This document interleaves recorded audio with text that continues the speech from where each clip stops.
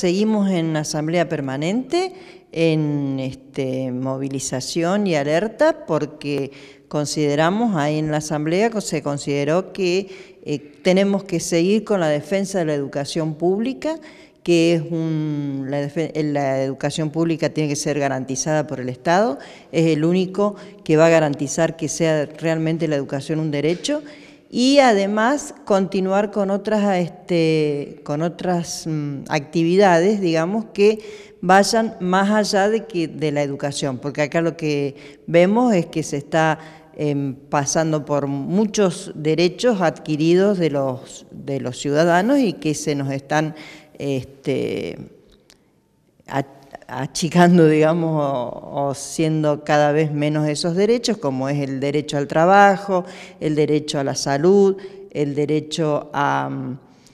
y, a, otras, este, a la soberanía, porque, por ejemplo, decíamos, denunciábamos ahí la posibilidad que ahora se pongan este, dos bases navales, dos bases de Estados Unidos, es decir, una en la triple frontera, nada menos, y otra en la Antártida con el pretexto de que van a luchar contra el narcotráfico y eso sabemos que no es así. Tenemos el triste ejemplo de Colombia, que no fue, no fue para luchar contra el narcotráfico, al contrario, sino que vienen a luchar contra nosotros, contra los mismos argentinos.